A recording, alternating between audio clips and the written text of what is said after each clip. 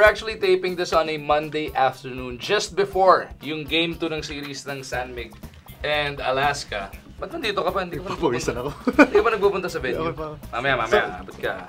Um, tanong natin ngayon, is Coach Luigi Trillo ready for Coach Tim Con? Unahin natin tong Alaska Ano? Faithful.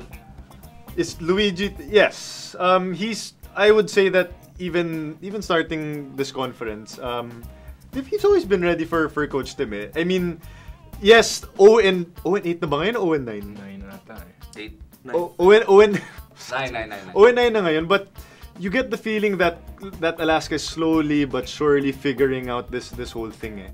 And uh, we saw an amazing game one last Saturday, and it really showed that sa start pa lang ng game prepared si Coach Luigi for for Tim Con and for San Coffee. Eh. Yeah, they didn't get the victory, no, but you get the feeling na nawawala ni intimidation if there ever was. Pero, pero na, yung pagdating ng dulo, end result, nanalo pa rin si Coach Tim Cone. Wala bang dagok yun sa confidence ng uh, ni Coach Luigi and the rest of Alaska? They were there. I mean, uh, it's it's a defensive game. It's not the most exciting game you'll watch, but pagdating ng huli, Denzel Bo stepped up with those three crucial jump shots and prior to that, his shooting percentage was awful and he just made those last three shots Yep. and and it's not like they were open, you know, Yeah. it was challenge shots and he just happened to make it and you know that's Denzel Bo. He'll he'll make his presence felt even more during those crucial crucial times. Um, for Alaska, I think yeah, Coach Luigi, Coach Luigi is ready.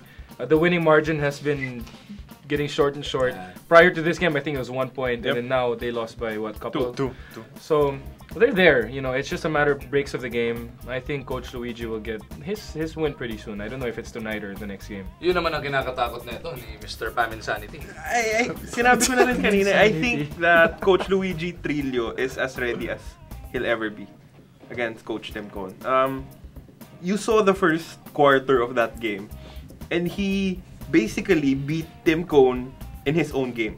Yung defensive struggle between both teams. And he, Alaska won that quarter. So in in terms of kung alam ba niya yung gagawin against Tim Cone, alam niya. But then it, it's the difference is hindi pa lang ma-translate into a win. Hmm. Knowing knowing what you what you want to do and winning is hindi pag pareho, hindi All, pareho. all throughout the Coms Cup, ano, 11-3 yung Alaska. They only got beat by Air 21 and San Mig Twice. twice. Uh, Coach Charles, ikaw ready ka na for Coach Tim Cone? No. Hindi, do you see that, yung nakita ni Carlo, do Personally, you see that na um, from a coach's perspective?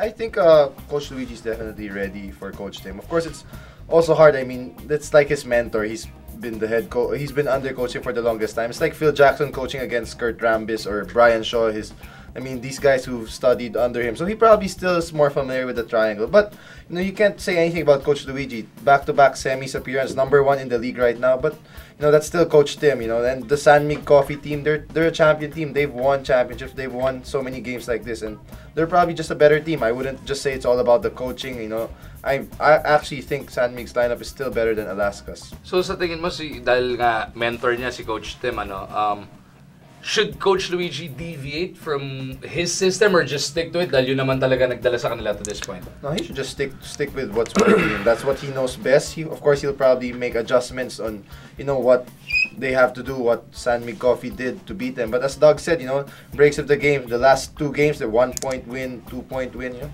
minsan malas lang talaga, di ba? I mean, he's doing a good job, that's for sure. What else should we expect from Coach Luigi?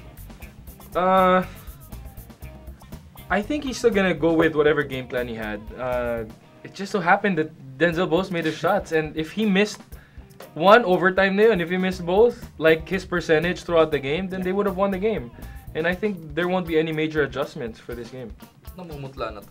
Kaya Ilang, hyperventilate. ilang oras na lang, game to na. Medyo... If you knew lang what I went through in game 1.